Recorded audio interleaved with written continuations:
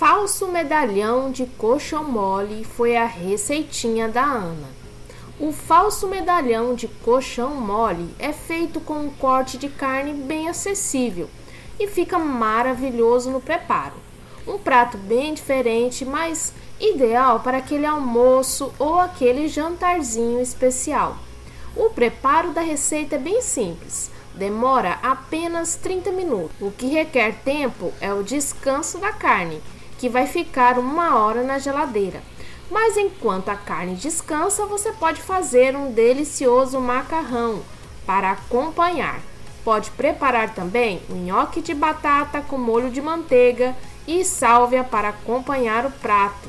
E a receita do nhoque de batata com manteiga vou deixar aqui no link no card desse vídeo. E se você quer aprender como fazer essa delícia, já fica nesse vídeo até o final para você não perder o passo a passo. Aproveita também, já deixa o seu like nesse vídeo, confere se você está inscrito no canal para você não perder nada por aqui.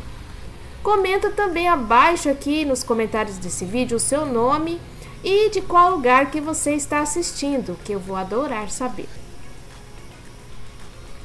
Ingredientes para o falso medalhão de colchão mole: 500 gramas de colchão mole cortado em bifes finos, sal e pimenta do reino moída a gosto, 300 gramas de mussarela fatiada, mais ou menos umas 22 fatias, meio maço de rúcula sem o talo, 40 gramas de tomate sem pele e sem semente cortados em tiras grossas, um fio de azeite e 150 gramas de cebola roxa cortada em meia lua, meia xícara de chá de caldo de legumes, 50 gramas de manteiga gelada picada em cubos. Modo de preparo do falso medalhão de colchão mole.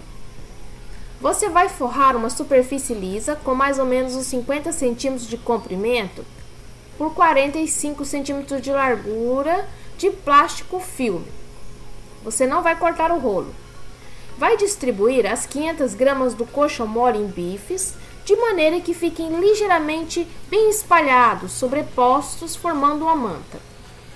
Com a ajuda daquele batedor de carnes, você vai afinar os bifes. Vai bater para amaciá-los bem, para que forme um retângulo com mais ou menos uns 30 centímetros por 40.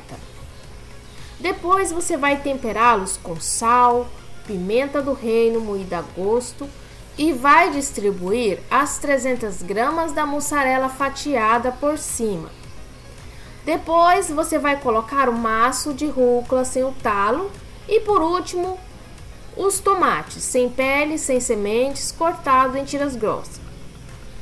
Acerte o sal, a pimenta do reino moída a gosto. Você pode colocar também outro tempero de sua preferência.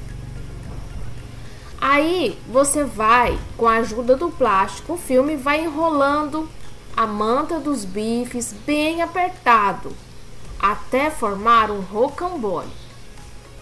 Deixe na geladeira por uma hora ou até que esfrie. Depois você vai retirar da geladeira, irá descartar o plástico filme e em uma frigideira aquecida em fogo alto, você vai colocar os pedaços já cortados no azeite. Coloque três medalhões e vai dourando todos os lados por mais ou menos um minuto de cada um dos lados ou até que estejam todos bem douradinhos.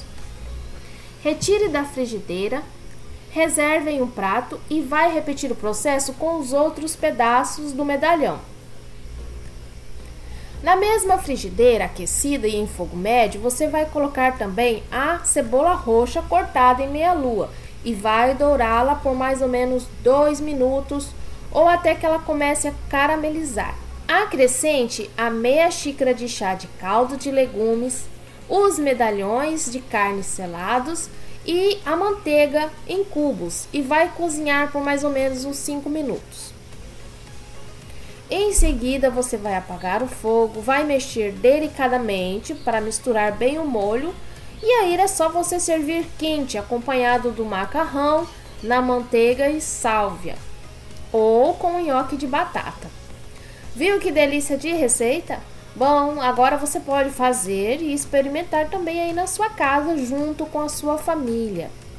Assista mais receitas aqui em nosso canal e eu vou deixar algumas indicações de receitas da Ana que vão estar aparecendo para você aqui nos cards desse vídeo e também vou deixar nos vídeos aqui no final. E a receita do nhoque de batata também vai estar aqui no card, tá? Depois você pode assistir para você fazer o acompanhamento com esse delicioso medalhão. Deixa também o seu like nesse vídeo para me ajudar e aproveita, se inscreva no canal se você gosta de receitinhas assim. Compartilhe também esse vídeo com seus amigos. Um abraço e até breve!